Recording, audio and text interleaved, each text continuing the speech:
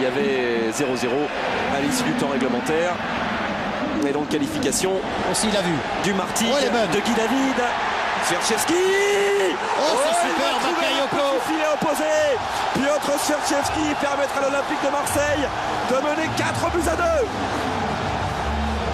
Mais ce, ce qu'a fait Bakayoko Grégoire, c'est à- à 60% dans la réalisation du but de, de. Parce que Bakayoko va faire l'appel en profondeur. On va revoir tout ça avec François Charles. Regardez, cet appel en profondeur. Là, il y a bagarre avec Flaches. Il va continuer à garder le ballon. Et là, il voit l'appel de Szerzewski. La frappe, elle est instantanée de la part de l'attaquant phocéen. Et Fernandez, Fernandez pardon, est battu par ce tir croisé superbe de la part de Szerzewski. Ah, ses partenaires s'y sont pas trompés à Ibrahima Bakayoko oui, parce qu'il y en a ah la moitié qui ont été voir Piotr. Zerdevski.